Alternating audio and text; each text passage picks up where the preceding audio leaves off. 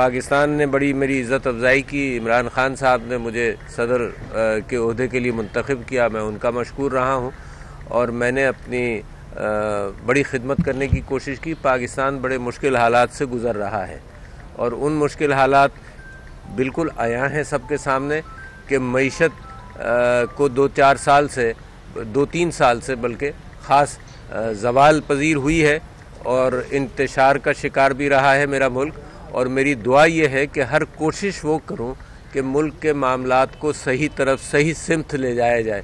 मुल्क को जोड़ा जाए, मुल्क के अंदर जो मुनाफरतें बढ़ी हैं, उनको कम किया जाए और मुल्क का ने जो मैंडेट का इजहार किया है, जिस अंदाज से भी किया है, उस मैंडेट की कदर की जाए।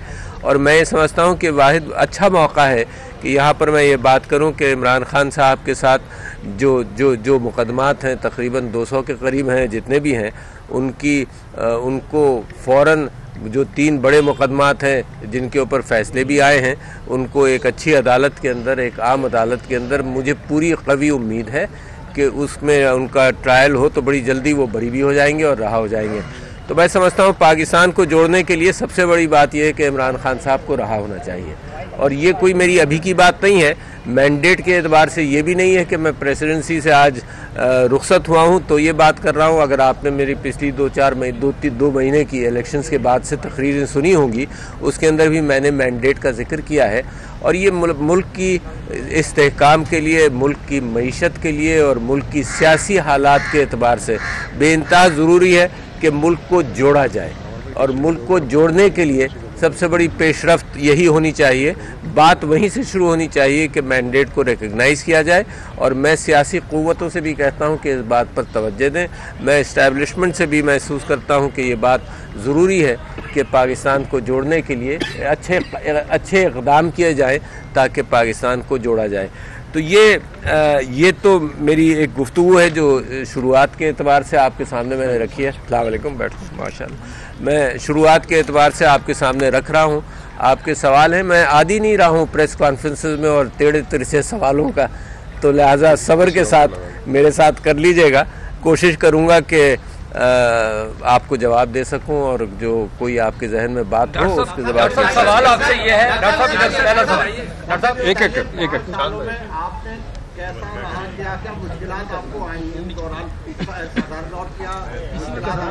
नहीं देखिए मैं आपसे ये कहना चाहता हूँ कि मेरे अपने मुल्क के लिए जो भी मुश्किल हों वो मुश्किल हल की।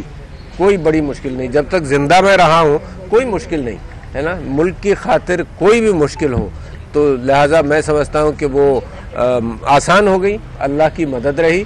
तो मुझे कोई ऐसी कोई शिकायत नहीं है किसी कस्म की।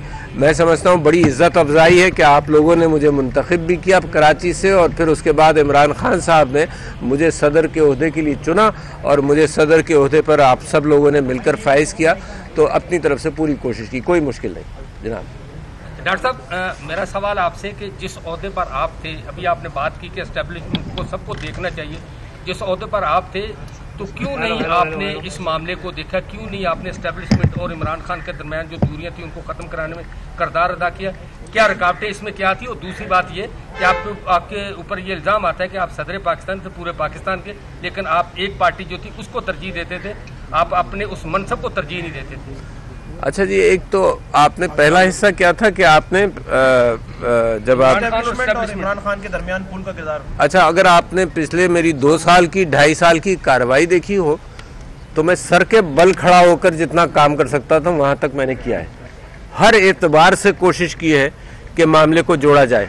हर मुलाकात के अंदर कोशिश की है कुछ मुलाकातें पब्लिक हुई हैं कुछ मुलाकातें पब्लिक नहीं हुई होंगी। मगर ये कि मैंने पूरी अपनी पूरी कोशिश कर ली एड़ी चोटी का ज़ोर लगाया अपनी ज़िंदगी का सारा इल्म इस्तेमाल कर लिया। आपकी मोहब्बतों से जो कुछ सीखा था कि सियासत को कैसा समझा जा सकता है वो सब समझकर मैंने कोशिश की मगर इसके अंदर मुझे आ, कोई खातिर खाक कामयाबी नहीं हुई। दूसरा हिस्सा आपका क्या था मेरे भाई? आपने अपने मनसब के हिसाब से एक पार्टी के लिए काम करते रहे जबकि आपको अच्छा मेरी पार्टी और मैं उसूलों के पाबंद हैं। मैंने जितनी भी सियासत पाकिस्तान में की है, उन 1969 से मैंने सियासत के अंदर हिस्सा लेना शुरू किया। तो उसूलों के पाबंद रहा हूँ मैं। और उसूलों को अगर पार्टी, उसूलों की पाबंद रही है तो मैं पार्टी के उसूल सिर्फ़ इस वजह से उसकी पैरवी ना करूँ कि क्योंकि ये पीटीआई के उसूल हैं, लिहाजा मैं उससे दूर रहूँगा। तो मैंने पार्टी के एतबार से नहीं, मैंने उसूलों के एतबार से, मैं करप्शन के ख़िलाफ़ रहा। कौन आदमी है जो कहेगा यहाँ पर के करप्शन के ख़िलाफ़ नहीं होना चाहिए? पार्टी का उसूल बुनियादी उसूल ये था कि अकाउंटेबिलिटी हो एहतसाब हो उसके ऊपर मैं कायम रहा हूँ। पार्टी का बुनियादी उसूल ये था कि जमहूरी अकदार हो उसके ऊपर मैं कायम रहा हूँ।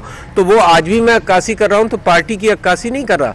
मैं तो आपसे ये कह रहा हूँ कि मैंडेट को, को को सही तरह से उसका रिफ्लेक्शन होना चाहिए। तो ये पार्टी की अक्कासी तो नहीं है। ये तो मैं सारी पार्टियों की बात कर रहा हूँ। ये सारी पार्टियों ने